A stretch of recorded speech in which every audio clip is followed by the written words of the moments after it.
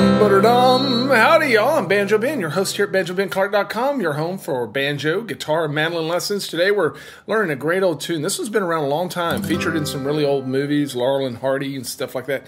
It's a song called The Old Spinning Wheel. Technically, the long name is The Old Spinning Wheel in the Parlor. And it's a great song. It's in C. Kind of reminds me of Wildwood Flower, uh, some of those songs. It's got some space in it and a lot of room for um, coming up with some cool syncopation and cross picking licks, things like that. So that's what we're going to do today. If you're watching somewhere else beside the website, you can come on board here in a bit.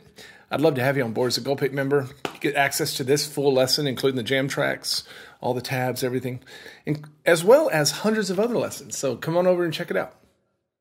As I mentioned, this song is in the key of C. I like it because the melody moves kind of slow. It allows you to throw in a lot of cool cross picking licks, even some harmonics in there. We're going to talk about that. And though this isn't really a fiddle tune where it's divided into an A part and a B part, I think it does kind of have an A part and B part. You might call it a verse and a chorus.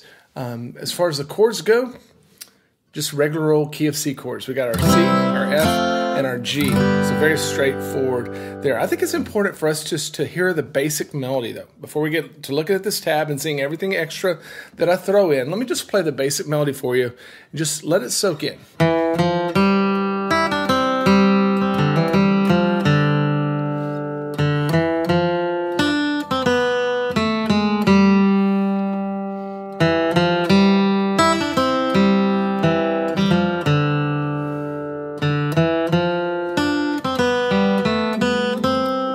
What I would call the verse.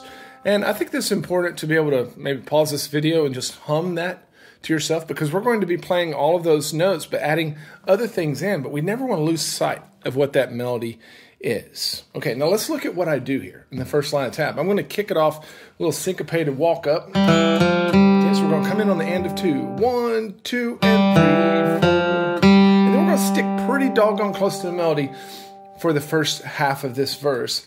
I'll just play through this line slowly for you.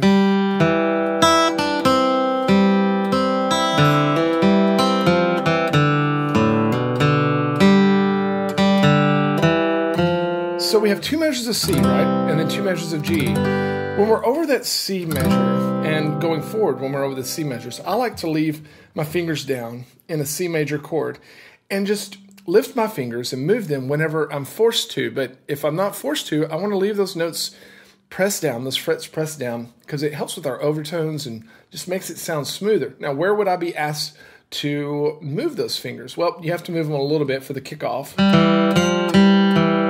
But then there in that second measure, we have the, right? And I'm going to use my pinky to grab that third fret. I think that's important because I've still got my C chord ringing out.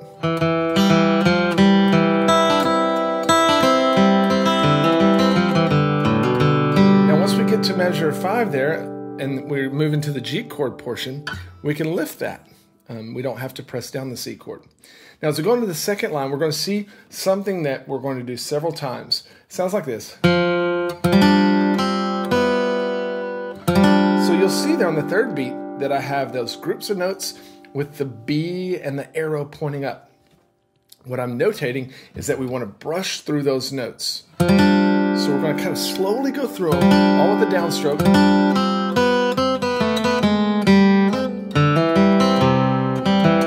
Okay. So what's the melody doing there? It's going. The whole line again.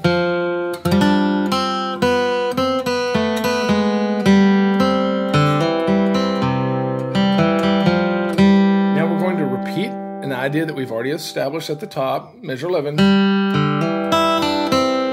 how I'm keeping that C chord down?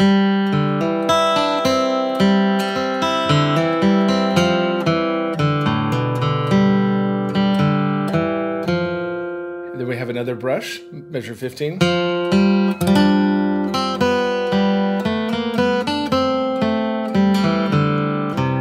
Okay.